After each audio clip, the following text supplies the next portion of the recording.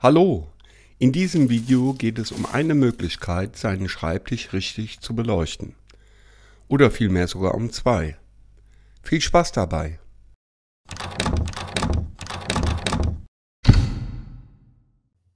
Nicht jeder hat das Glück, seinen Schreibtisch direkt vor einem Fenster und dazu noch mit Blick auf den Wald zu haben.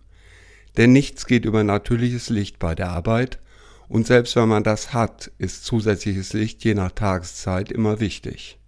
Für eine perfekte Ausleuchtung ist die richtige Positionierung der Lichtquelle selbstverständlich entscheidend.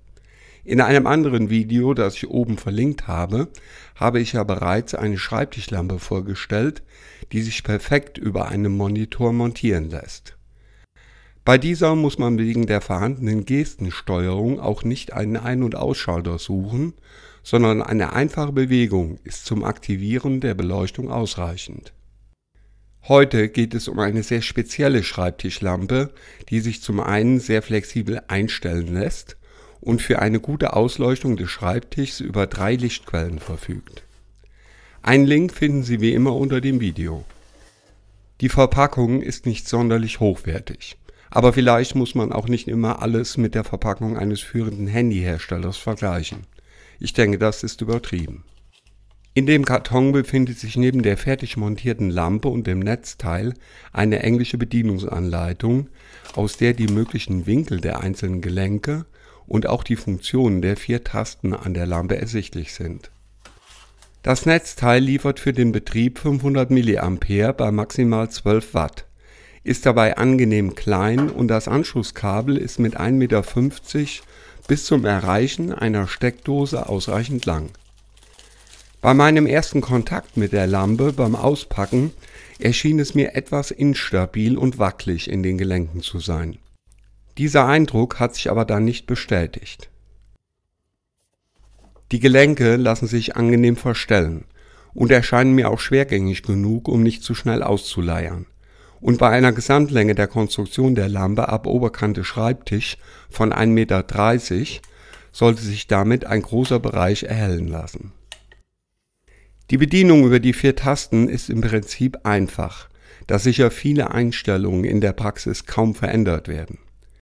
Hier links sehen Sie die Ein- und Ausfunktion und daneben die Einstellung für die Helligkeit in fünf Stufen, gefolgt von der Wahl der Farbtemperatur diesmal in vier Stufen und zum Schluss noch die Einstellung der maximalen Helligkeit und Farbtemperatur. Naja, wer es braucht. Übrigens handelt es sich hier nicht um richtige Tasten, sondern eher um berührungssensitive Kontakte. Aber das nur nebenher.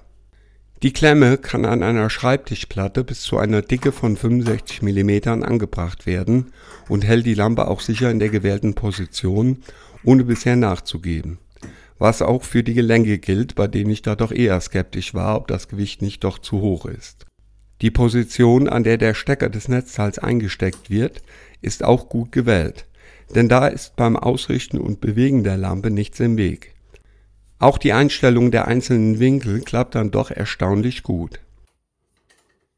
Jeder Schreibtisch ist anders und steht auch an einer anderen Position wodurch es immer einen Moment braucht, bis man den optimalen Ort für eine Schreibtischlampe gefunden hat. Dann kann es losgehen.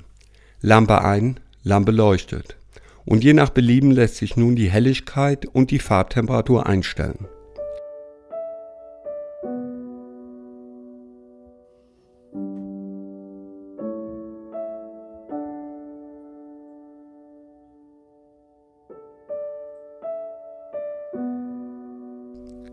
Mir gefällt besonders, dass sich die Lampe, wenn sie nicht gebraucht wird, einfach ein- und wegklappen lässt, wenn sie mal im Weg sein sollte. Und die Optik ist meiner Meinung nach auch nicht zu verachten.